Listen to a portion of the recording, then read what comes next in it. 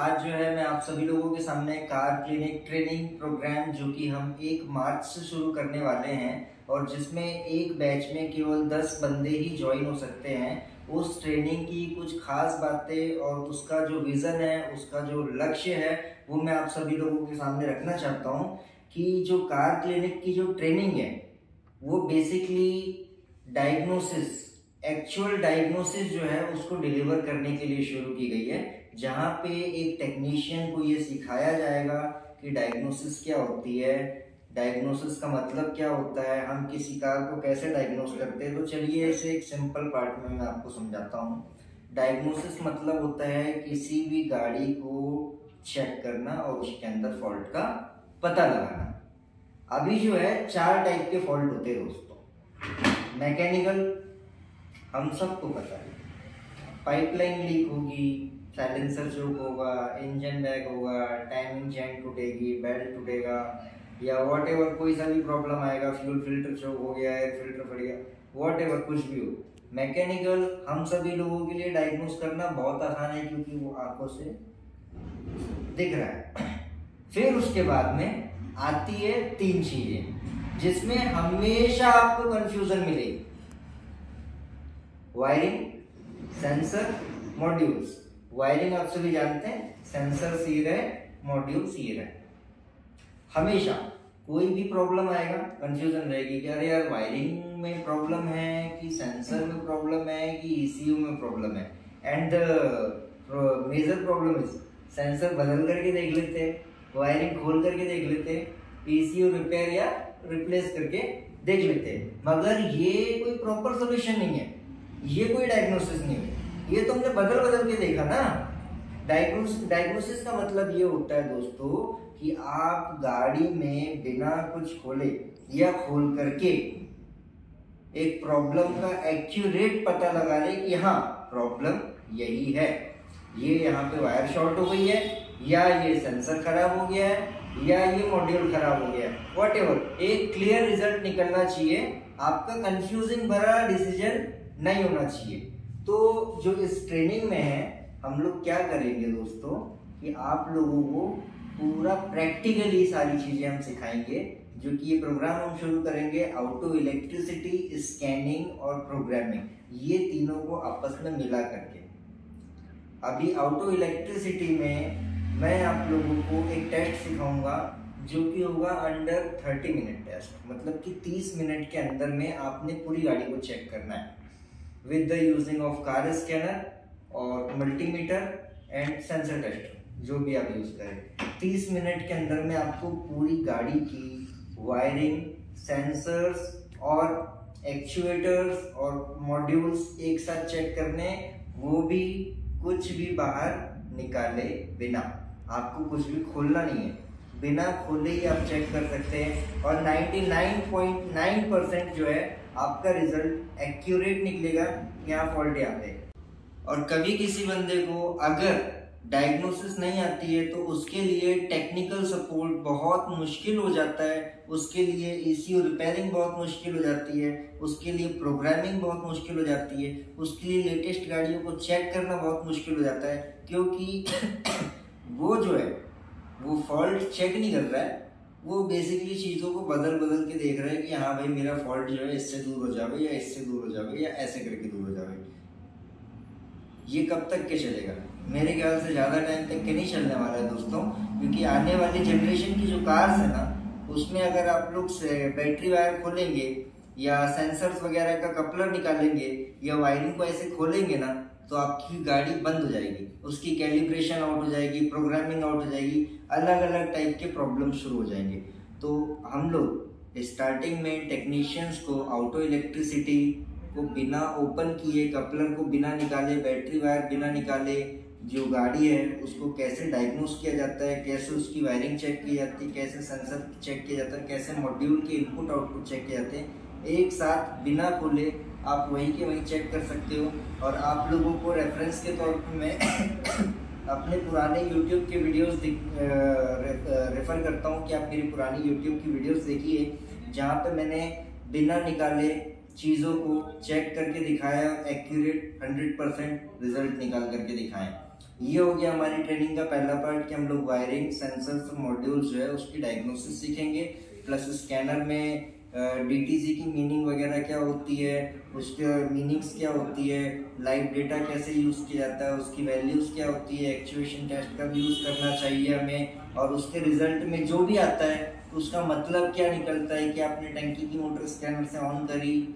अगर वो नहीं हुई तो क्या मतलब है? हो गई तो क्या मतलब है? वॉट एवर प्रॉब्लम जो भी है एक्चुएशन टेस्ट से कैसा पता लगाते हैं? स्पेशल फ़ंक्शंस कैसे यूज़ करते हैं? ऑनलाइन प्रोग्रामिंग कैसे यूज़ करते हैं? ये सारा कुछ आपको बताएँगे।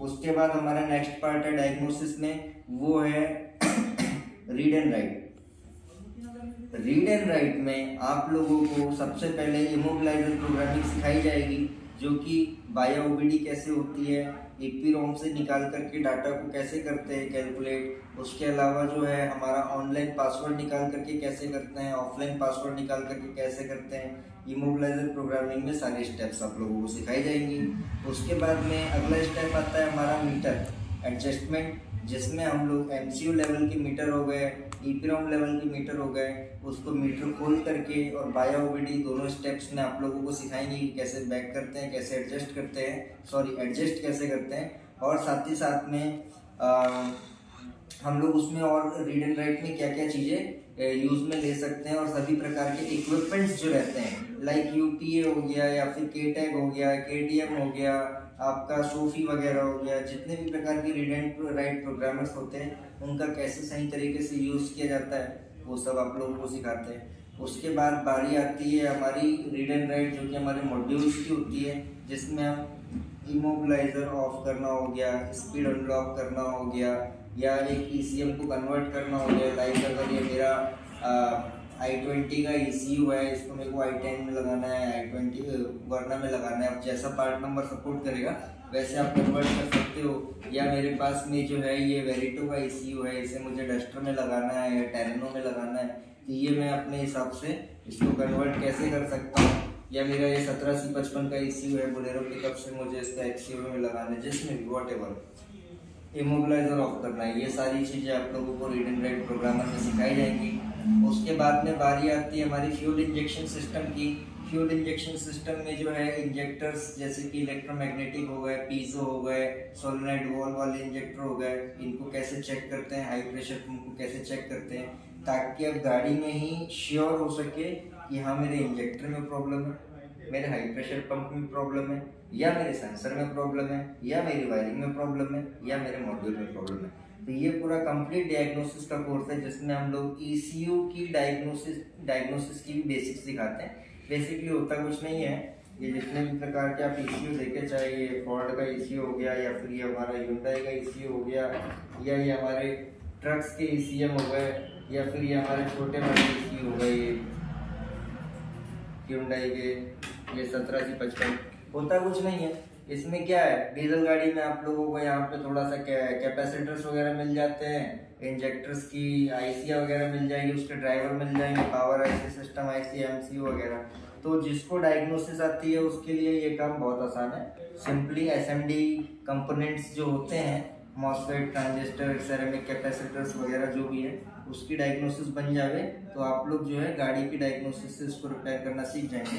और अगर आप इसी रिपेयरिंग सीख रहे हैं दोस्तों, और आपको गाड़ी की डायग्नोसिस नहीं आती है तो इसको सीख करके आपको कुछ मिलने वाला नहीं है।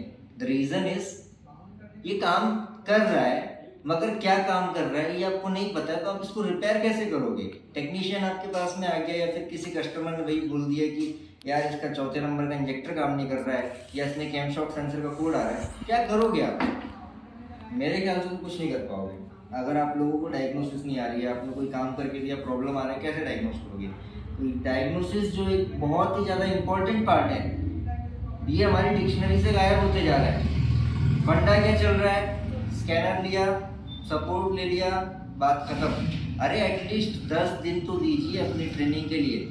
ट्रेनिंग की सारी डिटेल्स दोस्तों मैंने अपने वेबसाइट में मेंशन कर दिया है, जहाँ पे आप लोगों को ट्वेंटी थाउज़ेंड रुपीज़ की जो हमारी फ़ीस है, उसमें हम क्या क्या फैसिलिटी दे रहे हैं क्या क्या सपोर्ट सिस्टम में दे रहे हैं, क्योंकि ट्रेनिंग्स को जो है हम लोग सपोर्ट भी देंगे पूरे पूरे एक साल का। साथ ही साथ में जो है ऑनलाइन सपोर्ट भी उनको मिलेगा टीम लेबर का। साथ ही साथ में उन लोगों को गाड़ियों के वायरिंग डायग्राम, एटीएम की फाइल्स, केटेक की फाइल्स, यूपीए की फाइल्स, मीटर की फाइल्स पीसीएम की फाइल्स ये सारा कुछ मिलेगा सॉफ्टवेयर वगैरह सब मिल जाएगा। उसके साथ में आप लोगों को जो है, एक कम्युनिटी मिलेगी और ऑनलाइन ट्रेनिंग की फैसिलिटी भी ऑफलाइन टेक्नीशियंस को ही दी जाएँगी। जिन्होंने ऑफलाइन ट्रेनिंग ली है, उन्हीं को हम लोग ऑनलाइन देंगे, क्योंकि साल भर जो है, जितनी भी वीडियो ट्रेनिंग हमारी चलेगी, जितनी भी क्लासेस लगेगी, वो अपनी एप्लीकेशन में उस चीज़ को लाइव देख सकते हैं। इस चीज़ की भी फैसिलिटी हमने बनाई है और आपस में एक दूसरे से बात कर सकते हैं। और जितने भी लोग हमसे ट्रेनिंग लेंगे, उन सबका हम contact number workshop address photo वगैरह हमारी वेब वेबसाइट पे मेंशन कर करेंगे। जिससे होगा क्या कि अगर किसी को हमारी सर्विस जाननी है तो भाई वो हमारे कस्टमर से बात कर ले। एक बंदा झूठ बोलेगा, पचास बंदे झूठ बोलेंगे, सौ बंदे झूठ बोलेंगे, हज़ार तो नहीं बोलेंगे ना? और एक ना एक दिन हम ये आंकड़ा ज़रूर छुएँगे। तो हमारे ऊपर भी क्या एक मोरल रिस्पॉन्सिबिलिटी रहेगी कि हमसे जिन्होंने ट्रेनिंग ली है, हम उनको एक बेहतर सपोर्ट सिस्टम बना करके दें, जिससे हमारा क्रिटिसिज्म ना हो। तो दोस्तों, ये मेरा एक छोटा सा ट्रेनिंग प्रोग्राम है। अगली वीडियो में मैं आप लोगों को जो है, आप लोगों का हॉस्टल और आप लोगों की लैब दिखाऊँगा। क्योंकि बेसिकली हमने क्या किया है कि ट्रेनिंग्स के लिए हॉस्टल फैसिलिटी मैथ फैसिलिटी मतलब खाने पीने का इंतज़ाम और लॉन्ड्री जो है, पूरी अरेंज करवाई है। ट्वेंटी थाउज़ेंड रुपीज़ के पैकेज के अंदर ही। अगर आप लोगों की सेटिस्फेक्शन नहीं होती है दस दिनों के अंदर में, दस दिनों की ट्रेनिंग एक दिन का टेस्ट इसमें अगर आप लोगों को सेटिस्फेक्शन नहीं होता है नेक्स्ट बैचेस आप लोग ज्वाइन कर सकते हैं। उसकी में ट्रेनिंग फ़ीस आप लोगों से नहीं ली जाएगी, बस आप लोगों को अपने रहने खाने का खर्च मेंटेन करना है दैट्स इट और अगली बैच में, अगली वीडियो में जो मैं आप लोगों को दिखाने वाला हूँ, उसमें फैसिलिटी क्या है कि मैंने हॉल हॉस्टल के अंदर ही जो है, एक लैब तैयार करवाई है। जिसमें नाइट टाइम में, रात में भी आप लोग अपने पसंद के इक्विपमेंट्स पसंद के मॉड्यूल्स वगैरह बुलवा करके उसमें प्रैक्टिस कर सकते हैं। इस चीज़ के लिए आप लोग टोटली फ्री है। तो मिलते हैं दोस्तों नेक्स्ट वीडियो में। अभी के लिए हैव नाइस बाय और चेक कीजिए। कार क्लिनिक वेबसाइट और डिस्क्रिप्शन में नंबर दिया गया उससे भी प्लीज़ चेक कर लीजिए। ठीक है दोस्तों, मिलते हैं। Have nice